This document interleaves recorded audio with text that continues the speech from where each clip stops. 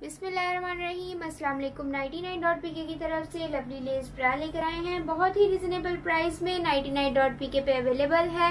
Net see through bra है non padded non wire है। Eight hundred and seventy rupees इसके price है। आइए आपको इसका क्लोजअप दिखाते हैं।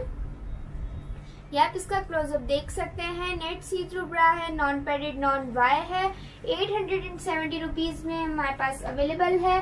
साइजेस और कलर्स इसके हमारे पास अवेलेबल है। डिलीवरी ऑल ओवर पाकिस्तान है। ऑर्डर इंशाल्लाह आपको चार से पाँच दिन में डिलीवर हो जाएगा। इस प्रोडक्ट का ऑर्डर करने के लिए हमें इसका स्क्रीनशॉट सेंड करके ऑर्डर कंफर्म करवा सकते हैं। मजीद गारमेंट्स की वैरायटी देखने के लिए। नाइन्टी नाइन डॉट पी के पे विज़िट कीजिए। शुक्रिया। अल्लाह हाफिज।